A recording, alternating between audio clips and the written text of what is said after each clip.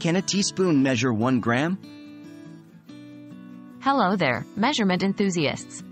Today, we're going to tackle a seemingly simple but actually quite complex question. Can a teaspoon measure one gram? We often hear of measurements in cooking using teaspoons or grams, but can they be used interchangeably? Let's dig deeper. What is a teaspoon measurement? A teaspoon is a unit of volume commonly used in cooking and baking. In many parts of the world, particularly in the United States, a teaspoon equates to approximately 4.93 milliliters. However, this measurement is not uniform globally.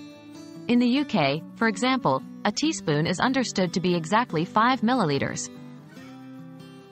What does one gram refer to? In contrast to a teaspoon, 1 gram is a unit of mass or weight. It is a part of the International System of Units, more commonly known as the SI unit system, which is used worldwide.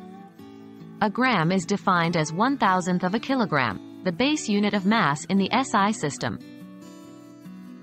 Can we measure grams with a teaspoon? Here comes the crucial part. While both a teaspoon and a gram are units of measurement, they measure different things, volume and weight, respectively. Therefore, a teaspoon cannot directly measure grams, as it's like comparing apples to oranges. That said, there are cases where we can use a teaspoon to measure a specific weight, but this heavily depends on the substance in question. For instance, a teaspoon of water weighs close to 5 grams, while a teaspoon of flour weighs around 2.5 grams.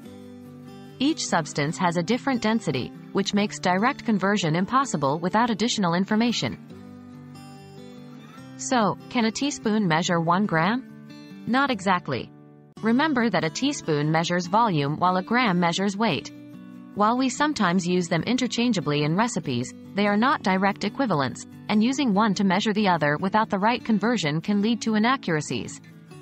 Understanding the difference between these two types of measurements can help us to be more precise in our cooking and baking, as well as in other areas of life. I hope this video has helped clear up any confusion around this topic. Thanks for watching, and happy measuring!